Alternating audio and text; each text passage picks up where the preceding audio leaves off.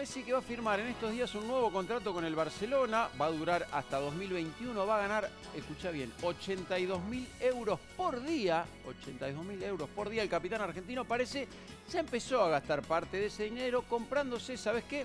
Un hotel. Sí, un hotel se compró Leo Messi, ahí está, mirá.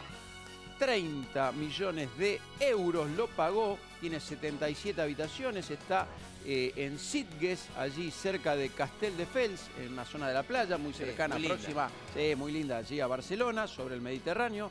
El hotel se llama MIM, fue construido en 2013. Vale, Guille, para que tengas una idea, 300 euros la noche. Ajá. Una módica suma para alojarte Una allí. Sí, en una de las 77 habitaciones. Lo cierto es que eh, toda la prensa española se hizo eco de que ya está por firmar el nuevo contrato y que ya empezó a invertir parte de ese dinero pagándolo 30 millones de euros. Así que un Messi hotelero. Sí, mira, Este- imagen, ¿no? Selecto, exclu- exclusivo. Claro, sí, algunos dicen que hace mucho lobby Messi. ¿no? Ah, Caramba. Pero bueno. Y sí, y sí. Ahí está el hotelito, ¿eh? Hotel Boutique. Sí, no te lo boutique. Bueno.